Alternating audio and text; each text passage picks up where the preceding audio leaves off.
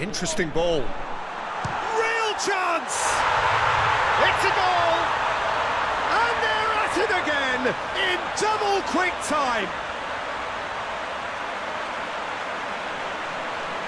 Yeah, I'd call that transition with bite.